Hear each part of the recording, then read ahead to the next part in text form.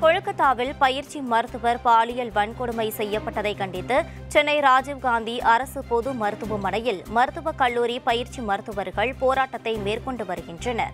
கொல்கத்தாவில் பயிற்சி மருத்துவர் மருத்துவமனையிலேயே பாலியல் வன்கொடுமை செய்யப்பட்டு படுகொலை செய்யப்பட்டதை கண்டித்து இன்று நாடு தழுவிய போராட்டத்தை இந்திய மருத்துவ சங்கத்தினர் மேற்கொண்டு வருகின்றனர்.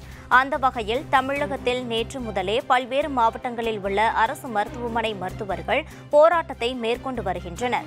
இந்நிலையில் இன்று சென்னை ராஜீவ்காந்தி அரசு பொது மருத்துவமனையில் சென்னை மருத்துவக் கல்லூரி பயிற்சி மருத்துவர்கள் போராட்டம் நடத்தினர். தொடர்ந்து செய்தியாளர்களை சந்தித்த பயிற்சி மருத்துவர்கள் தாங்கள் இருபத்தி நான்கு மணி நேரமும் பணியாற்றி வருவதாகவும் மருத்துவர்களுக்கு நாட்டில் பாதுகாப்பு இல்லாத நிலை உள்ளதாகவும் தெரிவித்தனர்.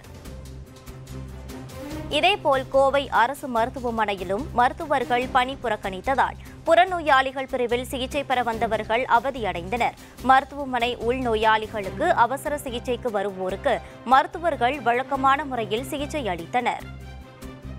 இதேபோல் இன்று மதுரை வேலம்மாள் மருத்துவக் கல்லூரி வாயிலில் மருத்துவக் கல்லூரி மற்றும் மருத்துவமனை மருத்துவர்கள் கண்டன ஆர்ப்பாட்டத்தில் ஈடுபட்டனர். இந்த ஆர்ப்பாட்டத்தில் முன்னூறுக்கும் மேற்பட்ட மருத்துவர்கள் கலந்து கொண்டனர். இதனையடுத்து செய்தியாளர்களிடம் பேசிய முதுநிலை மருத்துவர் ரத்தினவேல் கொல்கத்தாவில் பயிற்சி மருத்துவர் படுகொலை செய்யப்பட்ட விவகாரத்தில் குற்றவாளிகளுக்கு உரிய தண்டனையை மத்திய அரசு வழங்க வேண்டும் என்றும் மருத்துவர்களுக்கு தனி பாதுகாப்பு சட்டம் இயற்ற வேண்டும் எனவும் கோரிக்கை விடுத்துள்ளார்.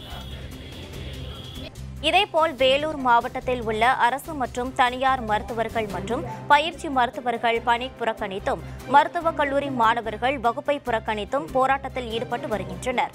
மருத்துவர்களின் பாதுகாப்பை மத்திய மாநில அரசுகள் உறுதி செய்திட வேண்டும் என வலியுறுத்தி போராட்டத்தில் ஈடுபட்டுள்ளனர். இதேபோல் தஞ்சாவூரில் மருத்துவர்கள் ஒரு மணி நேரம் பணி புறக்கணிப்பு செய்ததால் நோயாளிகள் அவதியடைந்தனர். நாற்பத்தி ஆறு துறைகளைச் சேர்ந்த ஐநூறு மருத்துவர்கள் ஒரு மணி நேரம் பணி புறக்கணிப்பு போராட்டத்தில் ஈடுபட்டனர். இதனால் நோயாளிகள் சிகிச்சை பெற முடியாமல் அவதியடைந்தனர்.